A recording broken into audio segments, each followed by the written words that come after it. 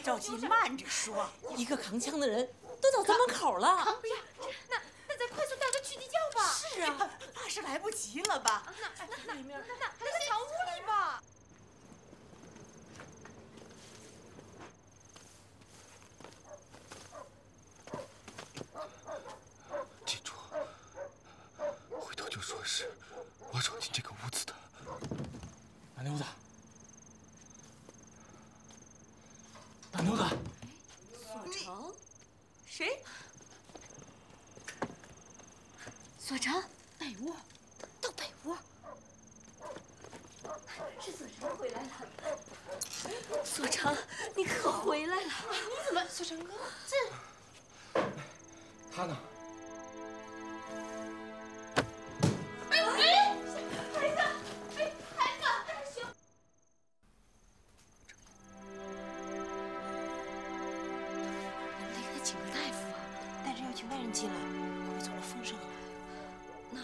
也得给他请个可靠的医生进来呀。可靠的医生。哎，对了，你九爷说过，他有个朋友在南池子呢，是祖传的，还在宫里当过太医呢。那快把他请来吧。对，快去请九爷去。哎，真的，麻溜的啊。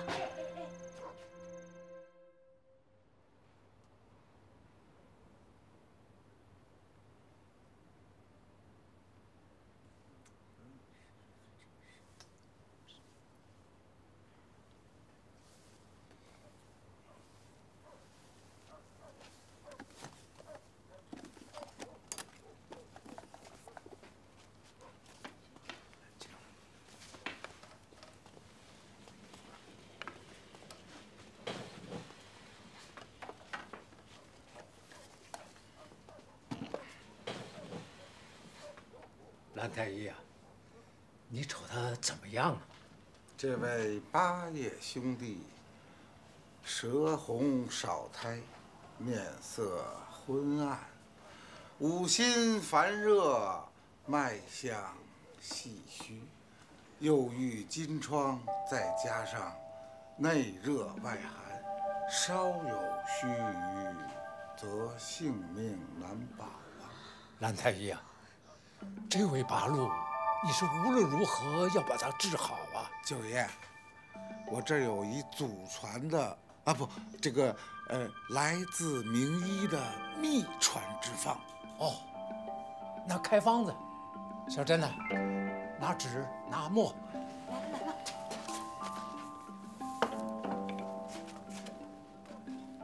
鹿角一两，石蛙一只，鱼鳔一副，再配以蛇胆、犀牛角，慢火煨汤，隔日一剂。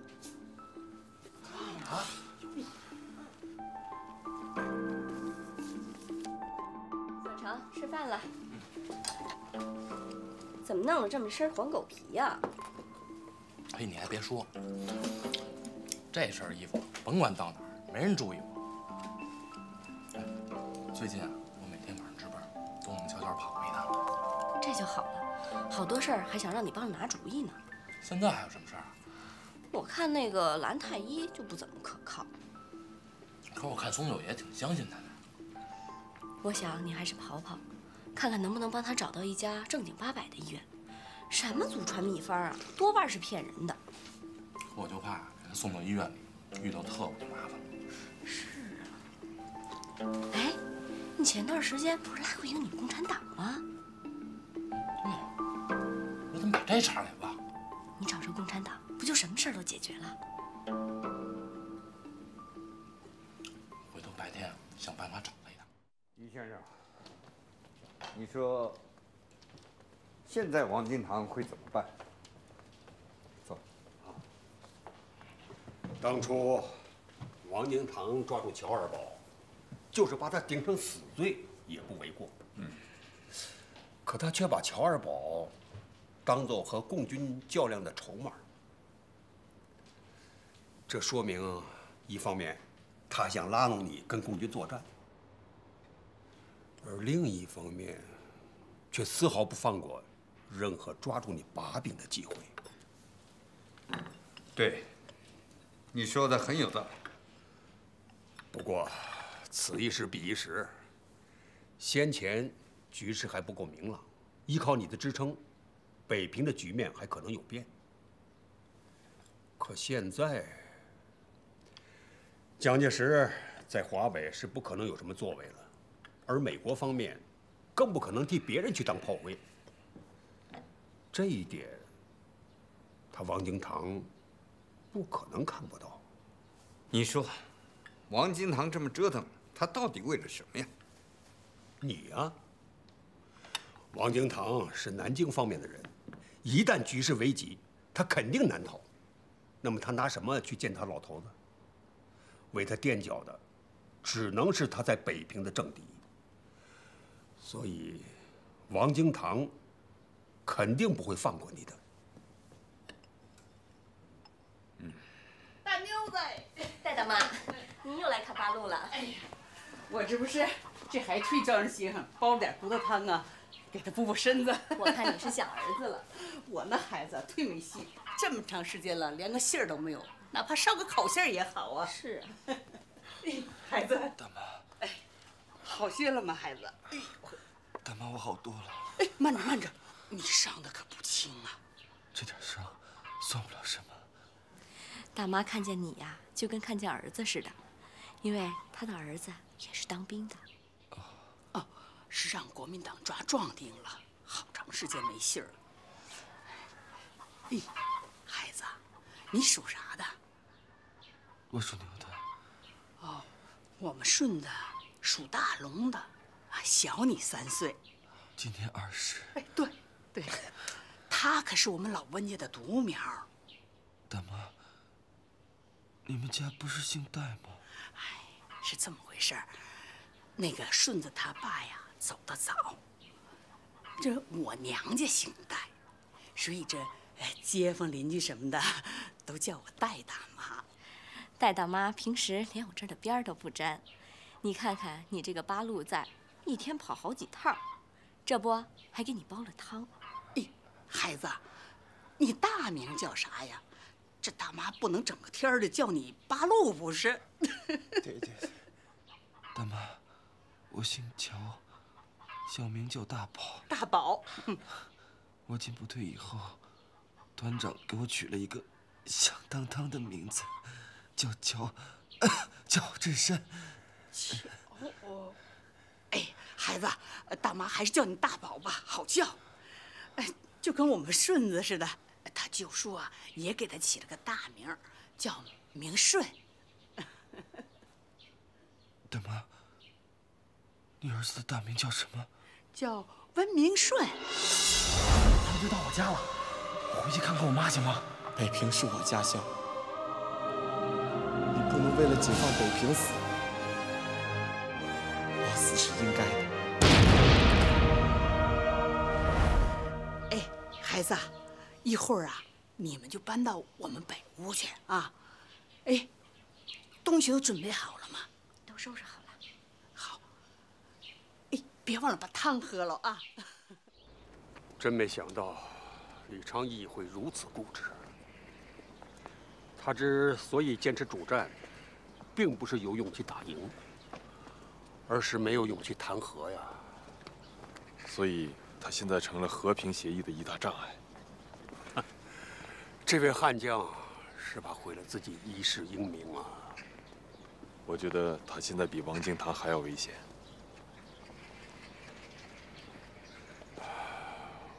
我会继续做他的工作的。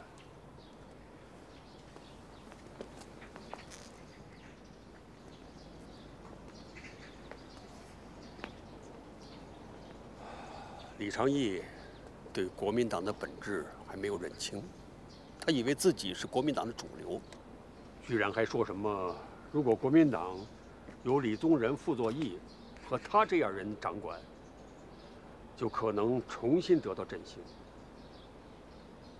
所以我们必须要用事实让李长义臣服。你是不是有什么想法了？我觉得李长义在国民党的阵营里并不好混。对，其实他一直受到中央派系的排挤。那我们能不能在这上面做一些文章？有道理。另外，我现在的身份差不多暴露了，以后消息传递会由别人来办。你可千万要小心呐！于先生，李昌义那边，您还要多做工作，改变了这个事情的死结，一切就都活了。我明白。您也要小心。大兄弟，哎这伤好点了没？这是一个十分重要的情报，你们两个把他送出去。你这是干什么？为了一张图，自己连命都不要了？大姐，你不明白这个图的重要性。你看，这就是敌人的地下工事、运兵通道。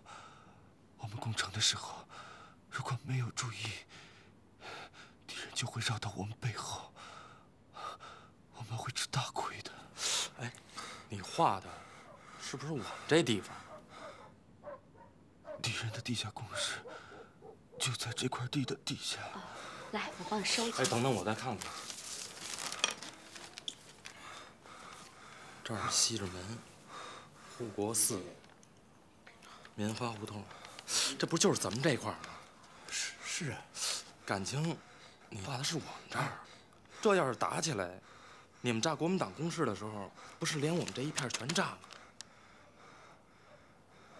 您看看，国民党这工事，整个把咱这片全给包起来，除非，除非八路不打这个地方，要不然你们那美国大炮一响，还不整个把我们这一片全给炸了？孩子，我知道你们八路军不会打我们老百姓，可这炮弹不长眼呐。就是，他又在城外，还隔着十几里地，这要一开炮，哎呦，可别把咱们老百姓都一勺烩了。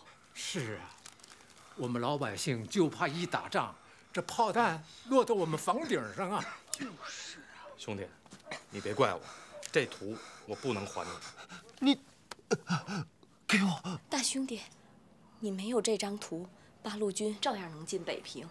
这样你就把咱们街坊都给救了。是啊，是。你们知道吗？这张图是我的战友用生命换来的，他就是你们北平人。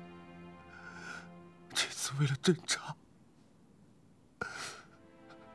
他连家都没有回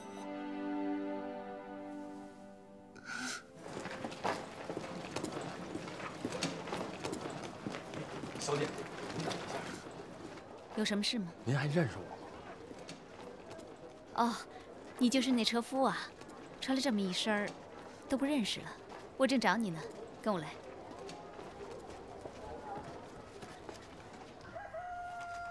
九爷啊，这北平城一打，他老百姓能不遭殃吗？谁说不是呢？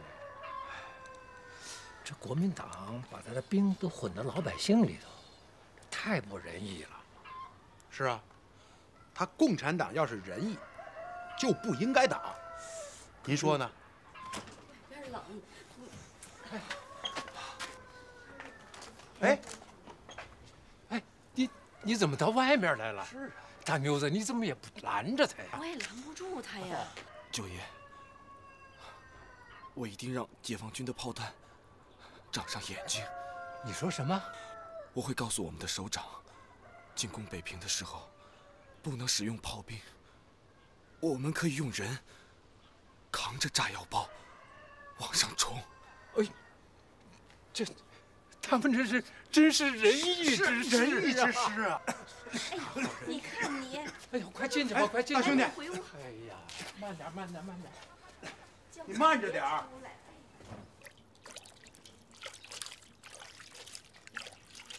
大妈，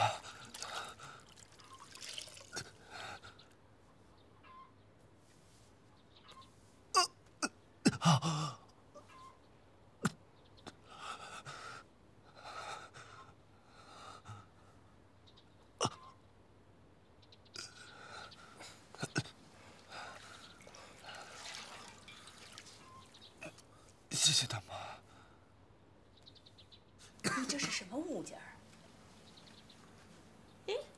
金贵，叫他妈看看，叫他妈看看，叫他妈看看。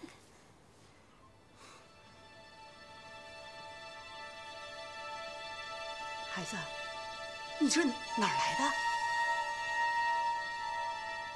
孩子，告诉我谁送给你的？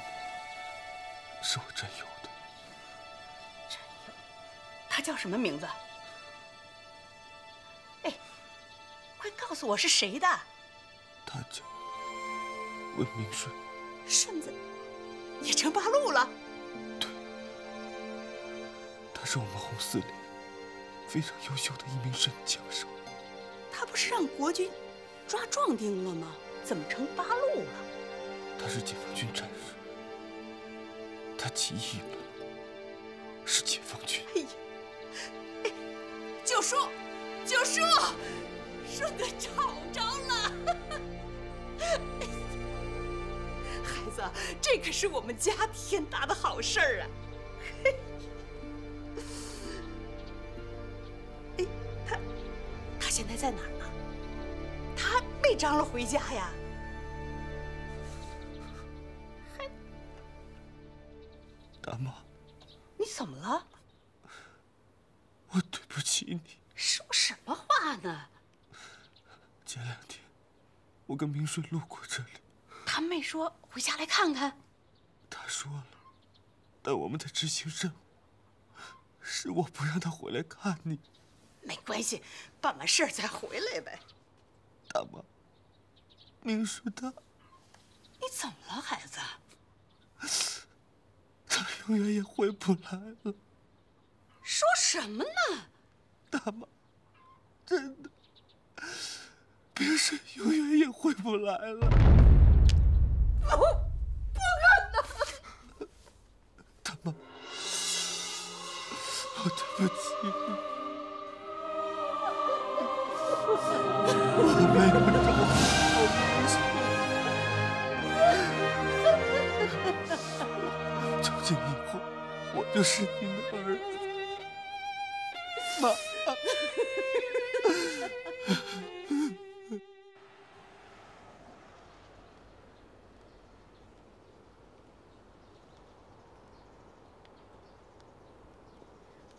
什么约在这里见面？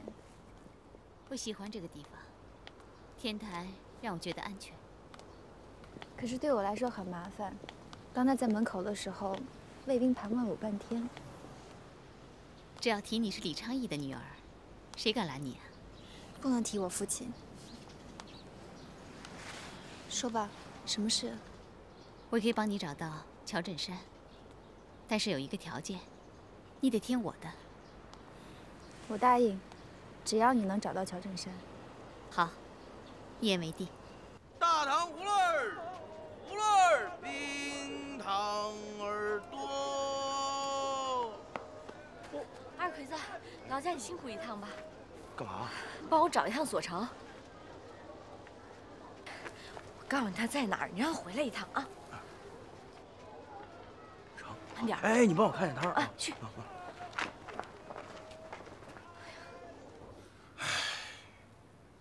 看来正是应了那句老话呀，治得了病，治不了命啊。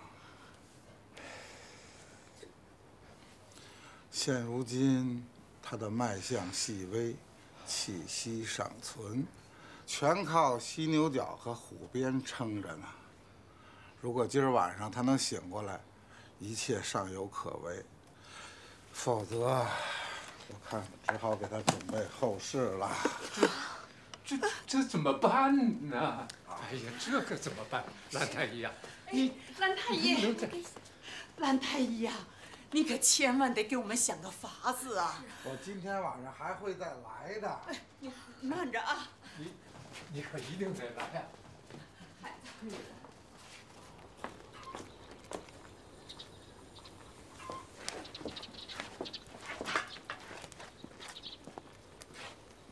你找谁呀？我找大妞子。有个叫刘所成的，你们谁认识啊？我就是大妞子。是刘所成让我来找你的。你好，是你呀、请进。啊，你们这儿是不是有个受伤的？你们给他用药了吗？给他喝的虎鞭汤。虎鞭汤，赶快送医院吧。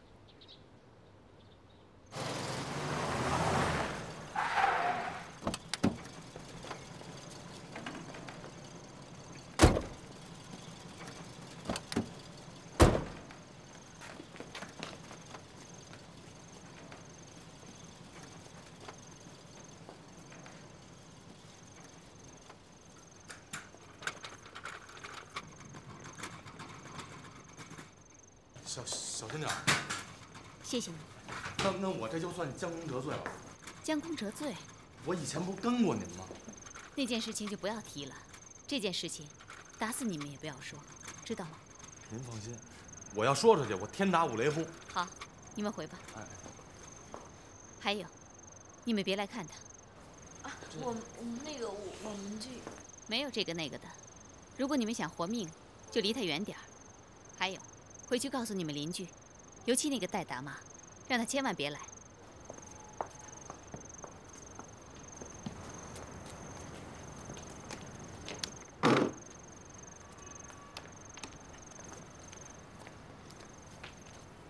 谢谢你，你慢走。谁让你们把八爷给送到这个地方来的？你治不好，我们不能让他等死吧？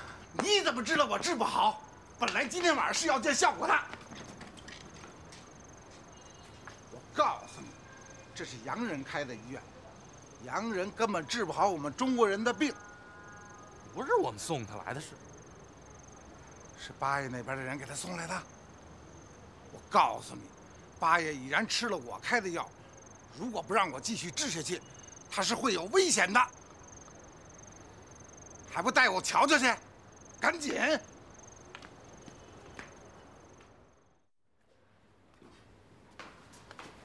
护士小姐，护士小姐，我是蓝大夫，祖传的太医。里边这病人原先是我给瞧的，有关病人的一些情况呢，我得跟现在的大夫介绍一下。医生现在很忙，你等一下啊。成成成，我等着啊。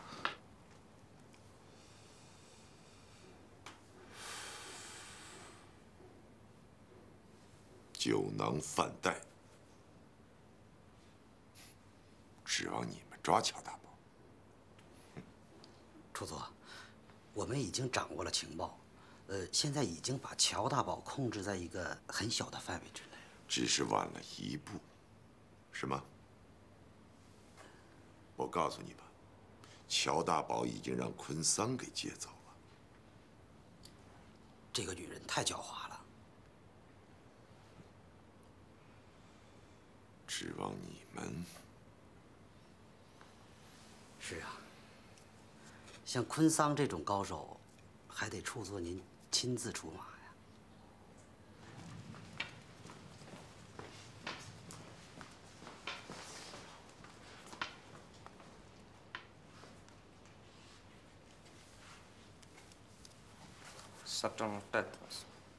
帕纳斯，帕纳斯是什么病？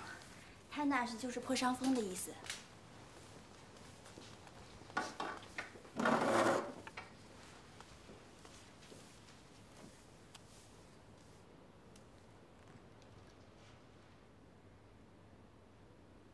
八爷，八爷，八爷，您面相红润，脉动盎然，气象万千，犹如大江东去。蓝先生，我有事要求你。我就知道您一准有事情要让我办。蓝先生，可是不瞒您说，我儿子在西山也是干这个的。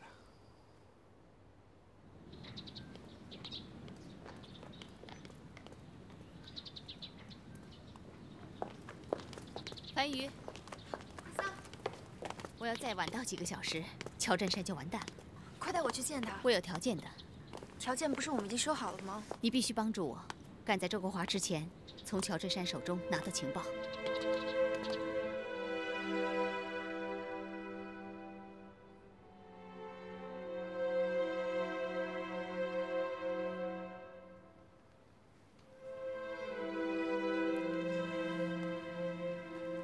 好了好了，行了，谢谢。乔振山，我怎么又落在你手里？你总算是醒了。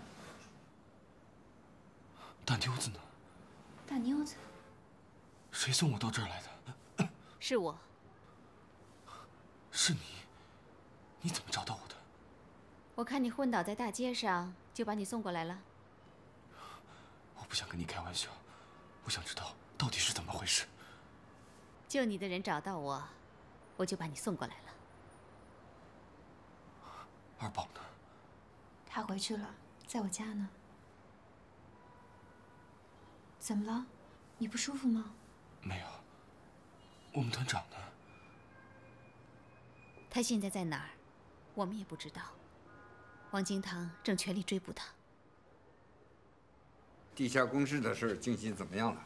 按照司令的指示，我跟中央军的副官傅斌见了面。嗯，你给他钱，他都收下了？很高兴的收下了。那结果呢？他说，地下工事的资料完全控制在顾真雄的手里，任何人都不得染指。顾真雄现在已经被提拔成副军长了。嗯，哎，这个顾真雄，我是有恩于他的。当初在北平外围战的时候，他的师部遭到共军的偷袭，是我派了一个排士兵去把他解救出来的，要不然他早就成了共产党的枪下之鬼。那就好办了。这样，你代表我跟他联系一下，就说我准备去拜访他。好的。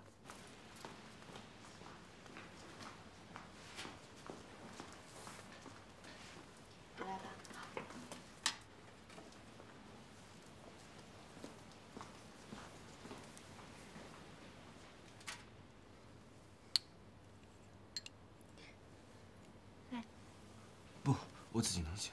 跟我客气什么？张嘴。答。这是什么样的官儿，带什么样的兵啊？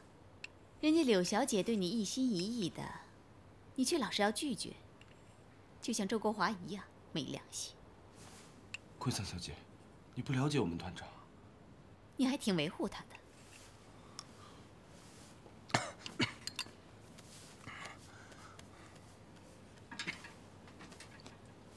对了，那天你们怎么没有从地道里面钻出来啊？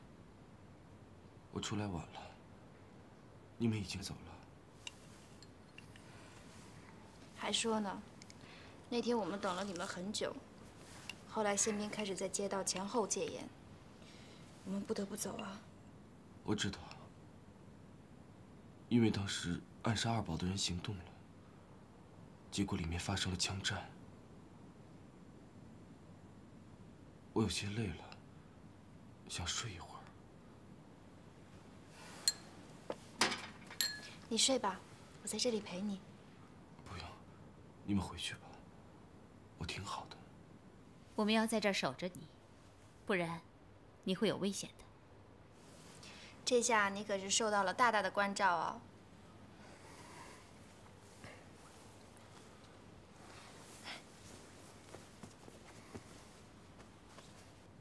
从中央军那里还得到另外一个消息，司令听了可不要生气。说吧。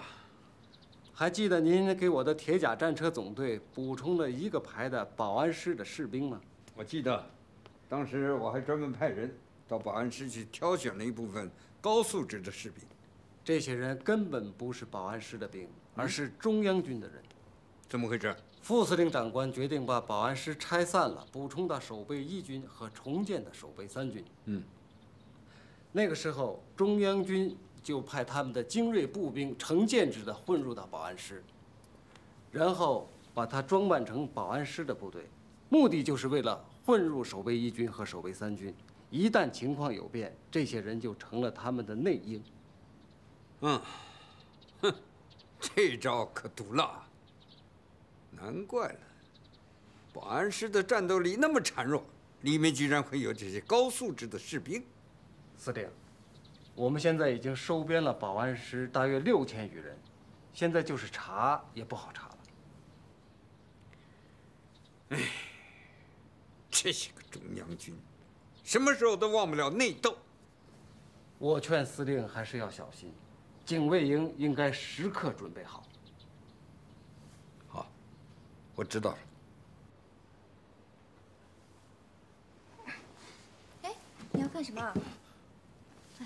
我要出去一下。你要去哪儿？你伤得这么严重，不能出去。我不是那个意思，我要出去。你你要干什么？啊，我知道了，你是要对墙射击是吧？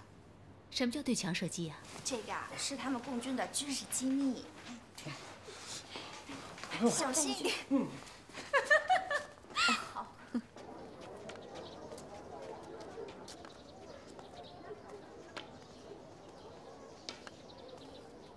先生您好，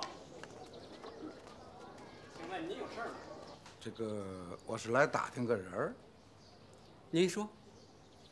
我是来找一个姓周的老板，叫周国华的人。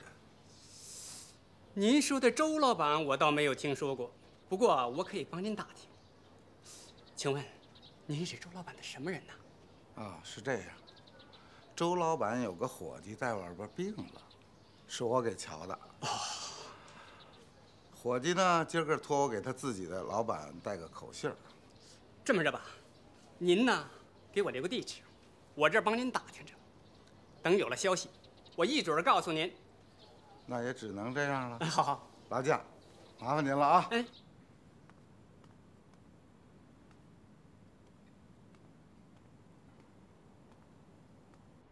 看得出来，你有心事。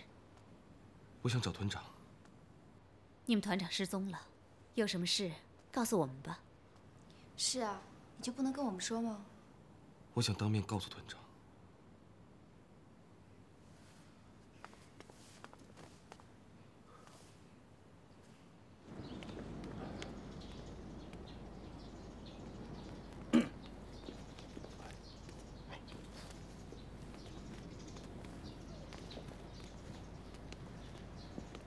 我给你带来了一个好消息和一个坏消息。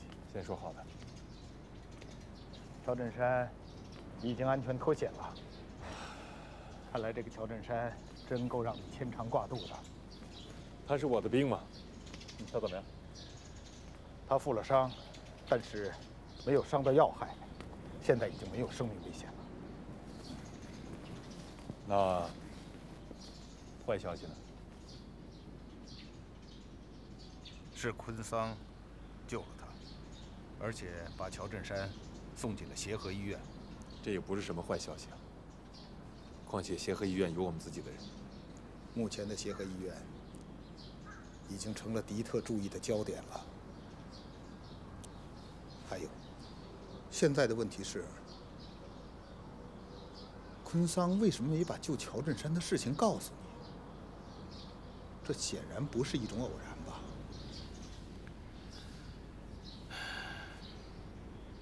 难道他想做点什么吗？如果要是这个时候我们去救乔振山，势必暴露了我们党在协和医院的力量。万一昆桑要是和王敬堂联起手来，我们将会被一网打尽。看来我们还不能去救乔振山。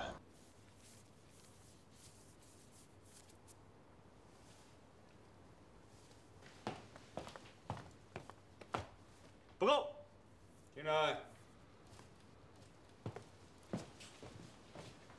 哎，二宝，我不是跟你说过，以后在家里不要那么多的军中礼节，啊？是，有事啊，来等我下啊。坐。坐坐坐。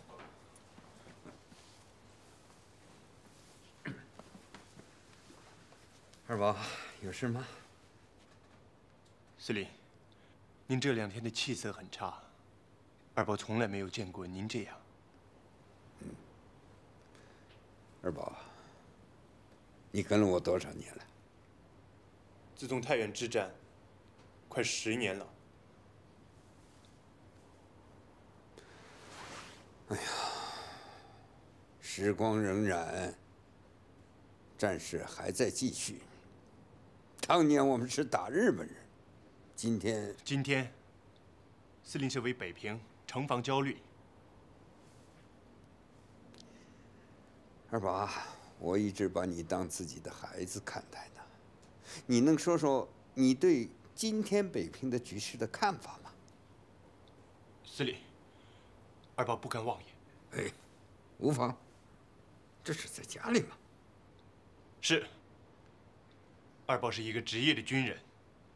当年司令送我去中央官校，就是要我成为一名尽忠报国的军人，所以我一直恪守军规。一，忠勇为爱国之本；二，孝顺为养家之本；三，仁爱为接物之本；四，信义为立业之本；五，和平为处世之本；六，礼节。好了好了好了，来坐坐坐坐坐坐。啊，真不愧是中央官校的高材生啊，军规都能倒背如流。司令，二宝是铭记在心。我这一辈子，第一是追随司令。第二就是希望自己成为一个合格的军人。好，呃，不过你还是没有回答我的问题啊。司令想的是大事，二宝想的是自身的事。可是，我愿意为了捍卫北平，粉身碎骨。好，要是我不战而降呢？二宝也会粉身碎骨。好。二宝，明天去警卫营的新兵排一次，把所有人的背景查查清楚。凡是从保安室进来的人，全部调查。是。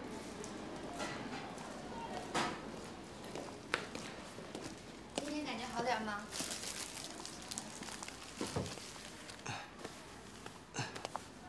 好多了。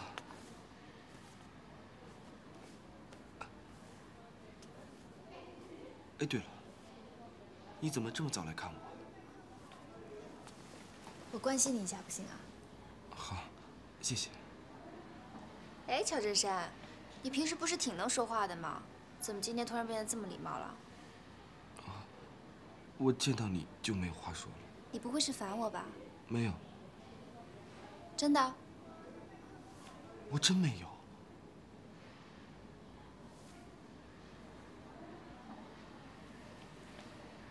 我知道你心里面想的是什么。是，我们是不同阵营的人。可是我想告诉你，脱下我们身上的军装，我们也是赤裸裸的人。难道你一定要压抑自己心里的感情，不愿去面对我吗？我不希望事情走到最坏的一步。如果有一天，我们必须面对，我希望我们共同面对面前的困难。